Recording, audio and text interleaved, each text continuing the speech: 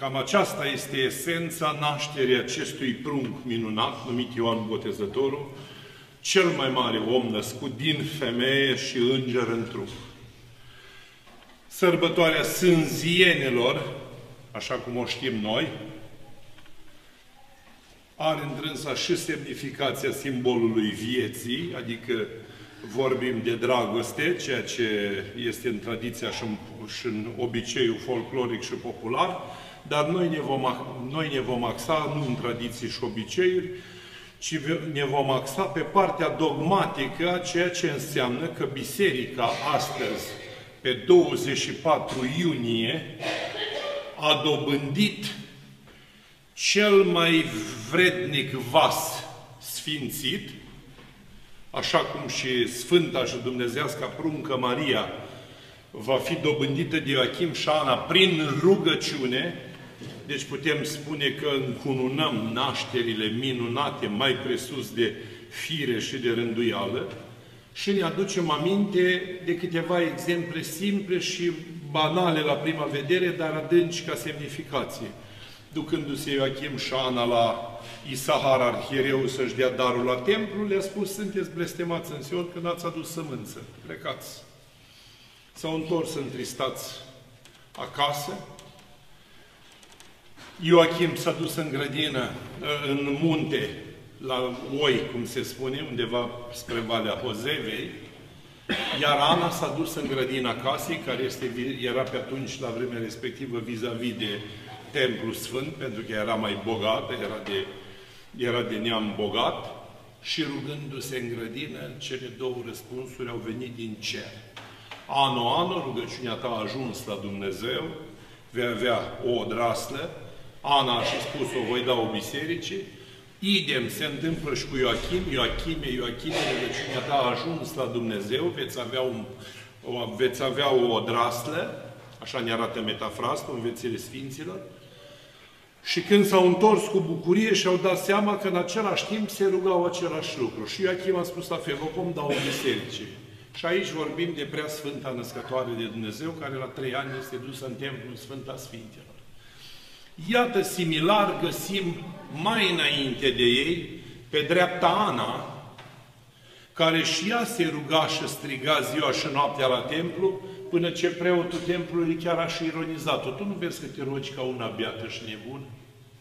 Și Ana a spus, nu se poate Dumnezeu meu să nu mă asculte și l-a născut pe marele profet Samuel.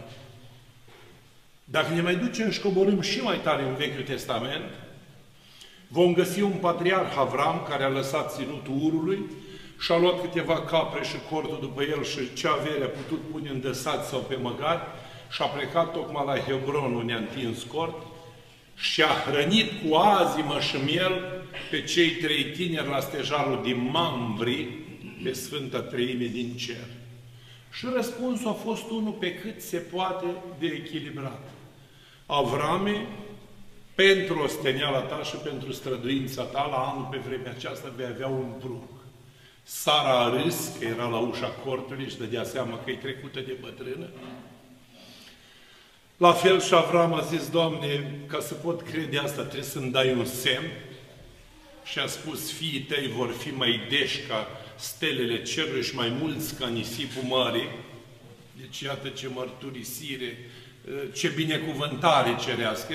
Și dacă ne gândim la profeția mesianică, cea care binecuvintează speța lui Avram, spune așa, Binecuvântat vei fi întru toate neamurile și binecuvântarea va fi peste tine.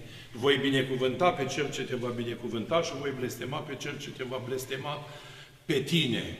Și iată că, într-adevăr, din Avram și până la Hristos, neamurile, dacă le luăm, cum ne arată genealogia 14 câte 14, ajungem pe linia lui Iuda, pe linia davidică, până la Hristos și vedem speța neamului omenesc, speța adamică sau speța poporului ales din care a ieșit și Fecioara Maria care l-a născut pe Hristos și din care a venit și Ioan Botezător, acest vas ales de astăzi, pentru că în momentul în care era la vremea lui Irod, o să vedem textul frumos, că e ca o poveste, e o narațiune excepțional de bine așezată, aproape în, uh, în linia poveștilor, tocmai ca să te captiveze, și spune că era, era un uh, drept. Zaharia și soția lui Elisabeta, bătrâni cu vârsta, trecuți cu vremea, și la fel nu aveau prunci. Și pe când a intrat Zaharia în templu să cădească, să dea cu tămâie, cum spunem noi astăzi în termen bisericesc, să tămâieze, altarul punerii înainte, i-a stat în față un înger. Aici aș vrea să mă opresc doar la o chestiune de mare simplitate. Cum am reacționat noi dacă ne-ar sta în față un înger? Cum am reacționat noi dacă chiar un înger ne-ar vorbi și a spune, te-am venit să stau de vorbă cu tine? E o întrebare foarte interesantă și eu spun că și grea, pentru că prima reacție pe care o arată Sfinții Părinți spune că în momentul când vezi ființe din lumea cerească, adormi și cazi ca un mort, pentru că nu le poți vedea. Și avem cele două mărturii în care odată îngerul căzut când îl leagă Sfânta Marina, îi spune să-mi cânți așa cum cântai tu în cer când erai înger curat și a spus nu, nu pot să cânt așa că dacă aș cânta ați muri, dar o să mă sui până la cerul al treilea să spun un aliluia.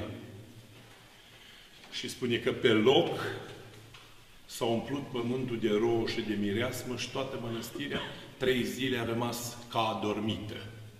Atâta frumusețe și putere avea cântarea îngerească. O mai găsim într-o mărturie tot a veților, a veților sfinților, în care spune că atunci când îngerii cântă, florile și iarba și pomii picură rouă ca lacrimile, de mireasmă de ambrozie și nectar, așa arată, nectar, așa arată grădina Raiului, Cosma de la apa Sangarului. Despre el este vorba, un stareț renumit care s-a întors după trei zile pe pământ și spune că la fel, la vederea îngerilor, toată viața a rămas cu o dulceață în gură și cu un dor de a pleca mai repede de pe pământ. Pentru că el s-a întors pentru plângerea obștii care și-l dorea înapoi și Dumnezeu a spus, te plâng, du-te la ei că înseamnă că te iubesc.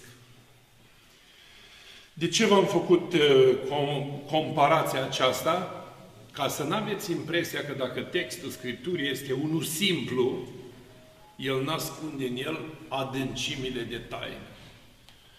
Deci Zaharia, în clipa în care a avut dialog cu îngerul și poate a vorbit ceea ce nu era în măsură să vorbească, a rămas și mut, pentru că a spus, dă-mi un semn, și a spus, nu vei mai putea vorbi până nu se va naște pruncul și îi vei pune numele. Și toată lumea a văzut că Zaharia zăbovește în templu și s-a dat seama că e un semn. Și atunci când a văzut că nici nu vorbește, și-au dat seama că ceva era în neregulă și s-a petrecut o minune. Dar ce îi spune îngerul care sunt de față? Eu sunt arhanghelul Gabriel, trimis de la Dumnezeu, care stau la tronul Sfintei Trăini și îndeplinesc poruncile Lui. Ei, acest arhanghel Gabriel nu apare întâmplător, deci și demonologia Vechiului Testament, dar și cultul îngerilor din Vechiul Testament este semnalat la majoritatea dintre profeți, la majoritatea dintre drepți și la majoritatea oamenilor temători de Dumnezeu. Un înger îi spune lui Iosif să nu se teamă lua pe Maria la el, că ce este în pânte cei de la Duhul Sfânt.